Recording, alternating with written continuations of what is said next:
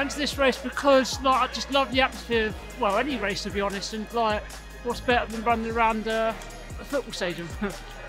I mean, it's a cha- personal challenge, so it's a case where I try to beat my personal best every time. I feel exhilarated. That's how I feel after the run today. Exhilarated.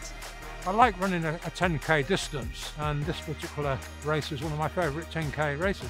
I mean, when I first started running, this big building at the back wasn't there at all. The race made me feel really good. I really didn't think I was going to be able to finish it, so I was just really, really happy that I did.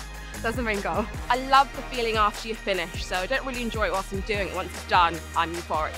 So if you're on the fence about a running event, um, I'd say just go for it. If it's your first one, you can walk a bit. Um, it's the feeling of finishing it, and then next time you can try and improve. Um, and it was, it's a great um, feeling at the end.